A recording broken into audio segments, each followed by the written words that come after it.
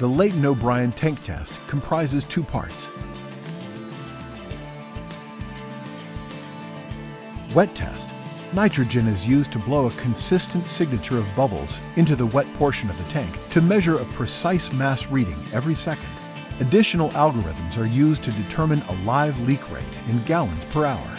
Data is collected and proprietary software provides feedback to technicians to ensure data quality standards are achieved during testing.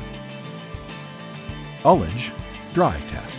All tank openings are closed using adjustable bungs or custom plugs.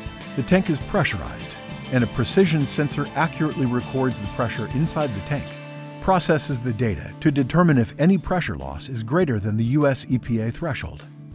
Results are displayed on the screen, allowing technicians to diagnose any leaks on site.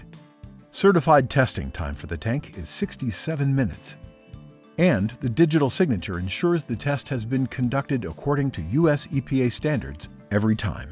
Leighton O'Brien Precision Line Leak Detection represents the most advanced digital line test in the industry and the world's only certified dry line test.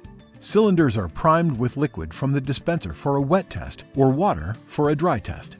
Pressure is applied to the system, which pushes pressure into the line being tested. Any change in liquid height is digitally recorded to one thousandth of a millimeter.